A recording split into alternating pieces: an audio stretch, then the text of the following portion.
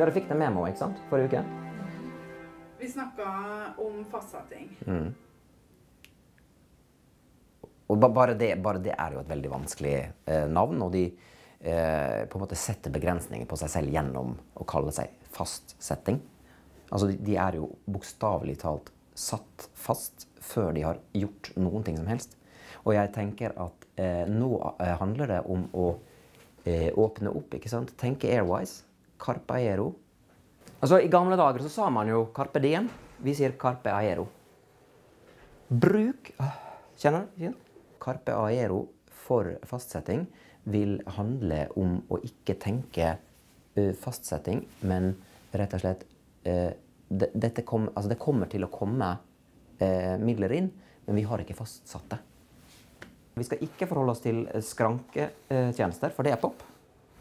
Eh, og alle telefonsamtaler fra Sol, det blir også pop. Så det skal vekk. Jeg syns ikke man skal ringe skattyter eh, lenger. Man eh, skal rett og slett transmit information. Bruk luften. Få all luften presset inn. Gå forbi pop. Gå forbi oksygen. Her Det blir jo veldig trangt, da. Inne i Content Solutions. Og så ut. Her er det mye plass.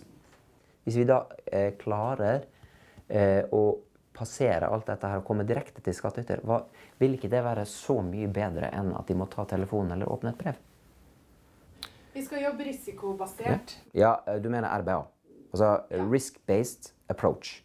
Ikke sant? Det er det samme. Ja, ja. Mm. Hvordan? Vi kommer eh, kontinuerlig til å eh, innføre risiko i arbeidstiden. Bl.a. gjennom f.eks. Eh, kontrollerte branner. Små, veldig små kontrollerte branner. Altså, dette er ikke farlig, men eh, nok til at man føler at man er i risiko. Skjønner du? For det, ikke sant? Hvis jeg sier 'å, risiko', å, det er en risiko, men hvis ikke jeg kjenner at jeg kan ramle ut fra femte etasje, så jeg egentlig, driver jeg egentlig ikke med RBA. Eh, det neste vil være at vi har eh, kontinuerlig 24 hour takeover. La oss si at du sitter i første etasje. Så skal du da ha en 90 graders helning eh, i løpet av første del av arbeidsdagen. Så må du da finne ut hvor, hvor, hvor peker 90-gradene. Jo, peker de rett frem? Ja, da skal du i skranken. Hmm. Jeg skjønner ikke helt hvorfor du bruker så veldig mange konsonanter her. Jeg fikk jo da kommunikasjonsavdelingen i, dag tidlig til å bare bruke vokaler. Sånn at alle artikler som kommer på Skattenett i dag, det vil bare være vokaler. Ikke sant? Altså ikke Hans Christian Holte, men au, oe, au, oe. Hva skjer da? Du må forholde deg til lederen på en helt annen måte.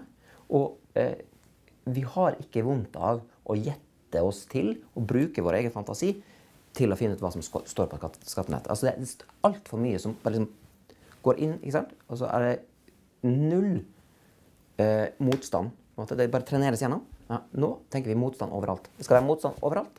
Vi snakket jo om at vi skulle ha et mobilt kontor, og vi skal være i bevegelse, vi skal være ute i open space. ikke sant? Så da må du ikke bare sitte på plassen din.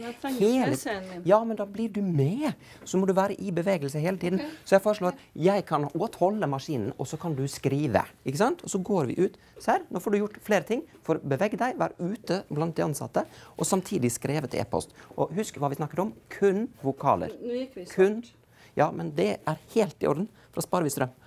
Så går vi innover her, sånn. Så bare fortsetter vi det. Jeg kan ikke bare bruke vokalene. I dag kan du det. I, senere i dag så får du utdelt to konsonanter.